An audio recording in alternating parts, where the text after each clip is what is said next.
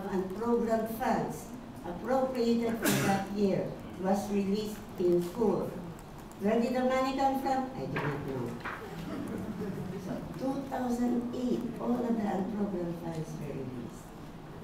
Now, in addition to that, debt service appropriations, which are supposed to be automatic, you know, when you borrow, you're supposed to pay back, right? Otherwise, nobody will lend you. So, uh, the appropriations to pay back those debts are so-called automatically uh, appropriated. Unfortunately, Congress has this habit of reducing the debt service appropriations and using that reduction to increase the general appropriations.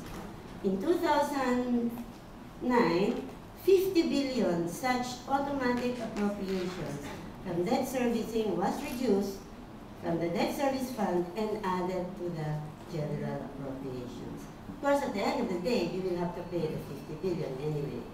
So what you have is an increase in the budget by 50 billion.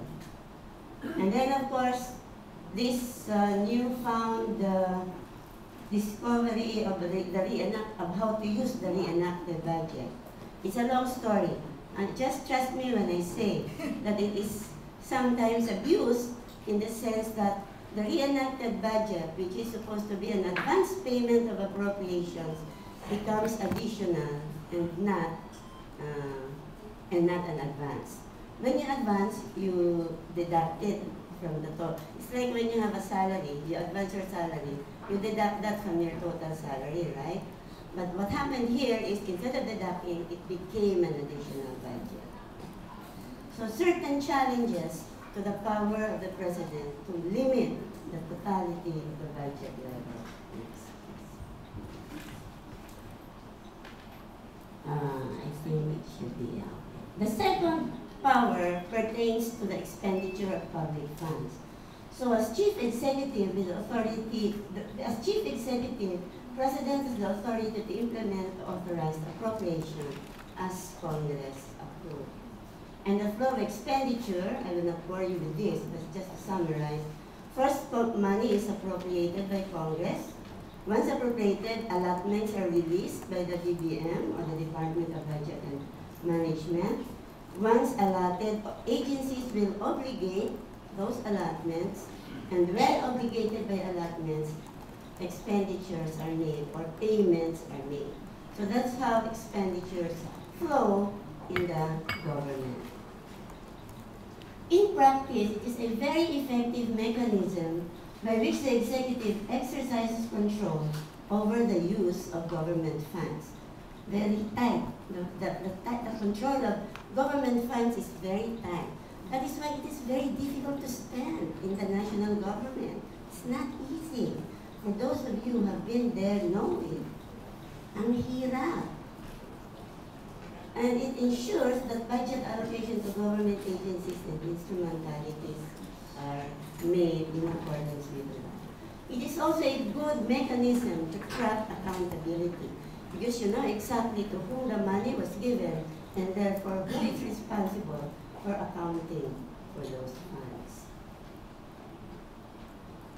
However, the system suffers from some problems.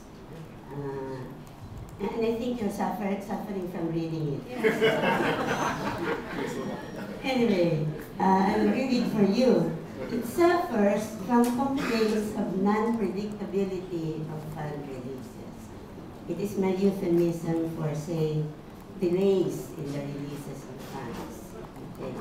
The releases of funds are not quite predictable.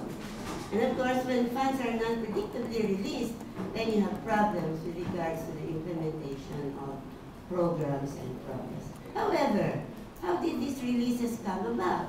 How did, how did these delayed releases come about?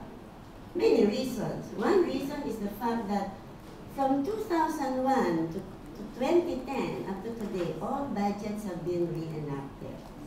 All budgets have been reenacted, either in full or partially. In three years, 2001, 2004, and 2006, uh, budget was fully reenacted. What this means is no budget was ever passed. And therefore, the budget of the preceding year was effective. In the other years, all budgets were delayed. Uh, as of today, for instance, we don't have a budget yet. We're still running on the basis of the 2009 budget. Why is this? For one reason or another, Congress cannot agree among themselves on, on, on passing the budget on time. So that's one reason. The other is something that Ernest will discuss, the weak, the weak, the weakest link in the fiscal sector, which is revenues. So because of revenues and then the shortfalls in revenues, uh, releases of funds will have to be sometimes uh, deliberately uh, delayed.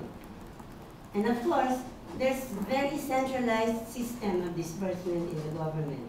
93% of the DA budget is managed in the central office. 40% of the DAR, the Department of Agrarian Reform budget, is managed in the central office. That's just an example. Highly centralized uh, expenditure level. And then, of course, I just put political accommodations. You know what I mean. Next, please. Please discuss examples. I think it will take a long time. so, next please.